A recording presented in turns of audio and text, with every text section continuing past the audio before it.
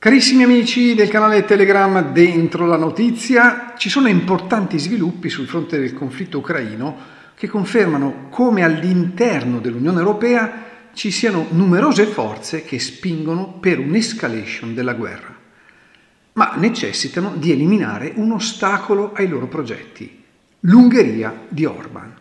Vediamo i fatti e il retroscena trapelato da fonti ufficiali. Il ministro degli esteri belga Adia Labib, membro del club globalista del World Economic Forum, ha sostenuto che l'Unione Europea dovrebbe privare l'Ungheria del diritto di voto per salvaguardare il futuro dell'Unione. Questo perché a luglio Budapest assumerà la presidenza di turno del Consiglio dell'Unione Europea. Il Belgio, l'attuale detentore, fa parte di un gruppo di paesi frustrati per l'opposizione dell'Ungheria ai piani chiave dell'Unione Europea, compreso il sostegno all'Ucraina nel conflitto con la Russia.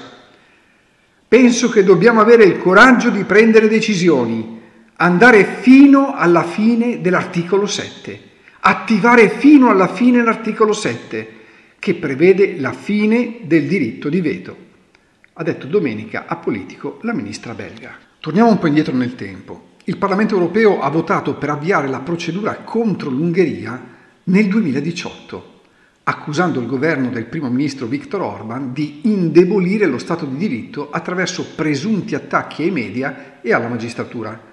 Ma il processo si è bloccato a causa dei disaccordi tra gli Stati membri. Orban, che è un forte critico della posizione occidentale sulla crisi ucraina, ha sostenuto che armare Kiev contro Mosca non è riuscito a fermare le ostilità e che le sanzioni hanno inflitto più danni all'Unione Europea che alla Russia.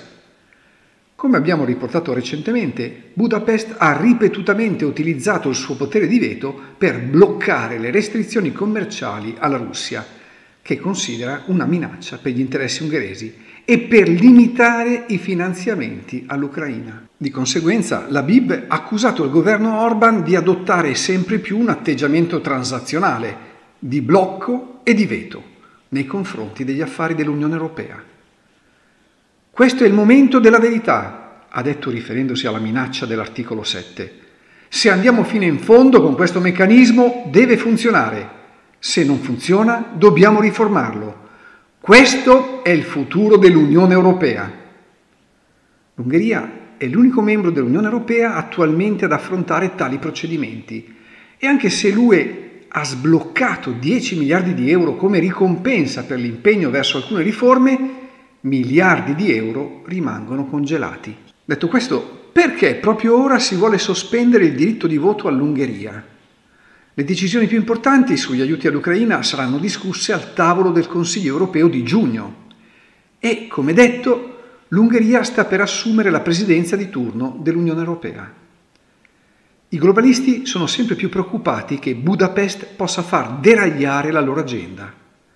A conferma di questa tesi, un portavoce della rappresentanza permanente dell'Ungheria presso l'UE ha detto la principale preoccupazione dell'Ungheria ora è tenere l'UE fuori dalla guerra nel nostro vicinato. Se la guerra raggiungesse l'UE, allora l'articolo 7 sarà l'ultimo dei nostri problemi. In tutto questo c'è un retroscena riferito dal Financial Times, che cita un documento di discussione trapelato secondo il quale gli Stati Uniti sono pronti a fornire all'Ucraina un prestito di 50 miliardi di dollari rimborsato con i profitti dei beni congelati della Russia se l'Unione Europea estenderà indefinitivamente le sanzioni contro Mosca. L'articolo cita un documento di discussione dell'UE in cui afferma che Washington ha bisogno che Bruxelles estenda le sanzioni dell'UE sui beni della Russia, che scadono ogni sei mesi, a meno che non siano rinnovate con consenso unanime fino alla fine del conflitto in Ucraina per garantire il rimborso del debito. Tuttavia il rapporto afferma che l'approvazione richiede il consenso unanime di tutti i leader dell'Unione Europea, compreso il primo ministro ungherese Viktor Orban, che ha posto il veto a molte decisioni relative alle sanzioni. Gli Stati Uniti stanno spingendo per un accordo in vista del vertice del G7 previsto in Italia la prossima settimana. E l'opzione principale presa in considerazione è il piano di Washington di prestare denaro a Kiev, possibilmente insieme ad altri Stati membri del G7, più o meno pari ai profitti inattesi stimati dai beni congelati della Russia. Commentando la situazione relativa ai beni congelati russi, Vladimir Putin ha definito le azioni dell'Occidente affari sconvenienti e ha avvertito che rubare i beni altrui non ha mai portato del bene a nessuno. I popoli non hanno alcun interesse in una terza guerra mondiale, a differenza delle elite globaliste. Riuscirà il buon senso a prevalere?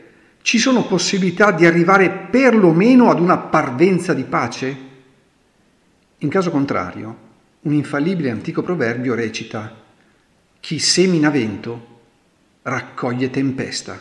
Carissimi amici del canale Dentro la Notizia, un vivo ringraziamento a tutti voi che ci avete aiutato a divenire il primo media italiano di informazione su Telegram. Per continuare a offrirvi quotidianamente un'informazione intelligente a tutela della popolazione, abbiamo bisogno del vostro sostegno. Se lo desiderate, potete dimostrare di apprezzare il nostro lavoro a beneficio di tutti con una donazione singola o mensile. Per essere avvisati sull'uscita dei nostri video iscrivetevi su YouTube e su Telegram. Mettete un like, attivate la campanella e condividete il video. Più siamo, più forza avremo. Uniti si vince! Un abbraccio dal vostro Roby. Prima di concludere volevo ringraziare Kigiani Life, una realtà italiana che propone un depuratore d'acqua con tecnologie uniche e innovative basate sulle ricerche scientifiche di quattro pionieri degli studi sull'acqua e del grande ricercatore giapponese Masaru Emoto.